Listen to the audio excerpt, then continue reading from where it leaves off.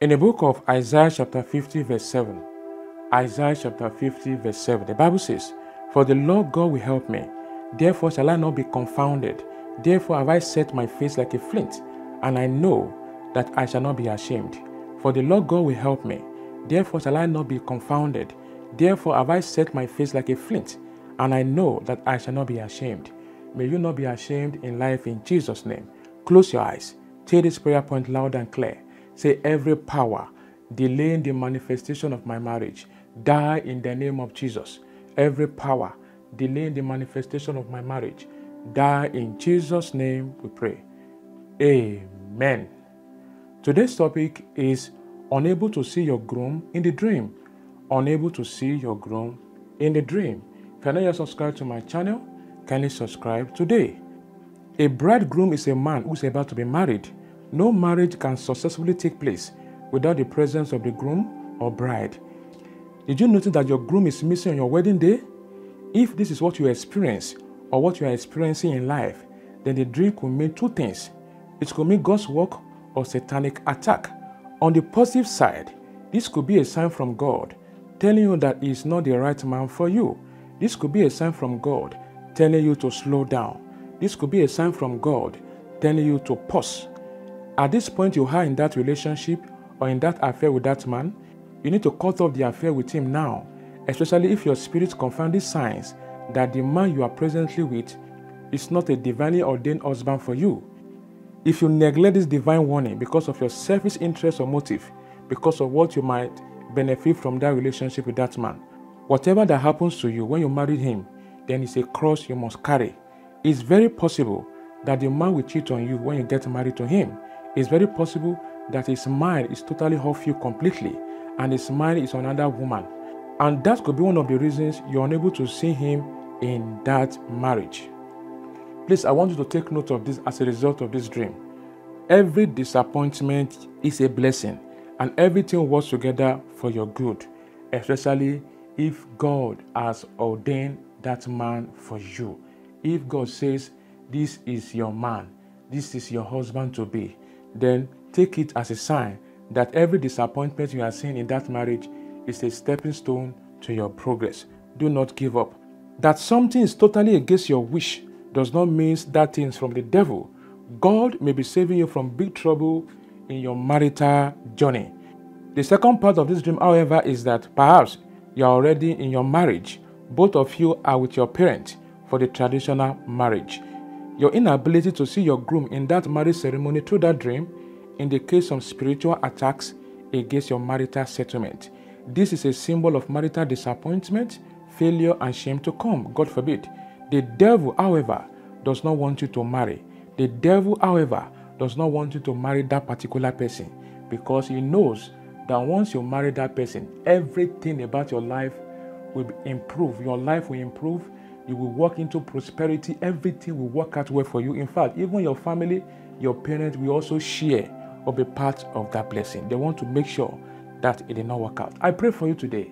Every power that is working against your marital settlement with that man, I command that power to die in Jesus' name. If you are currently in a relationship, preparing to be married, and you are coming across this type of dream where you cannot see your groom, you discover your groom rejected you, slapped you, and ran away in that dream, then it suggests that all your effort towards your marriage will not yield any success. God forbid. You can't see your groom in that dream because there's a spirit of delay and bad luck in your life. You can't see your groom in that dream because there's a curse upon your life. You can't see a groom in that dream because there's a spirit of hatred and rejection in your life. You keep experiencing disappointment and failure at the edge of every good thing in your life, you are wondering why good men keep breaking up with you. So you are not happy because of this. You are wondering why at this time you look at your age and you are worried that you are over matured for marriage. This type of dream is also a pointer of shame and disgrace awaits you in that relationship or marriage. God forbid. If it's a cause in your family that there's a high rate of marital delay, you need to break it.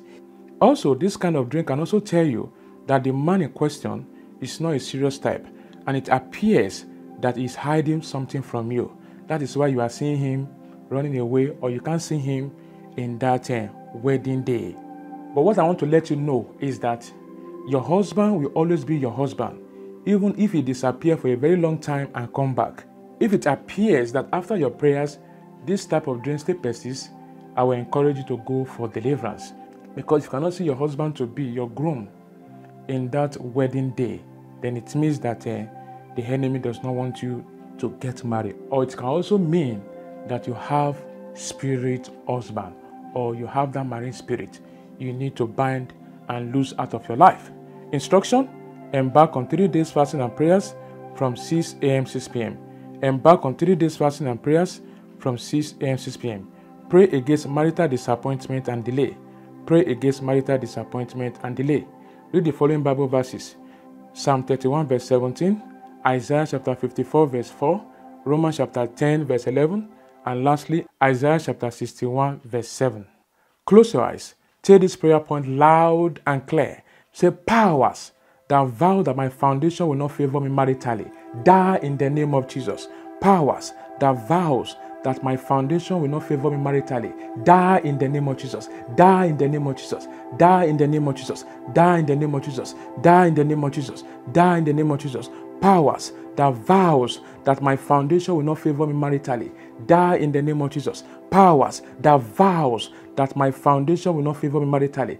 Die in Jesus' name. So, oh Lord, stop every power ranging against my marital settlement in the name of Jesus. Oh Lord, stop every power raging against my marital settlement in the name of Jesus. Oh Lord, stop every power raging against my marital settlement in Jesus' name.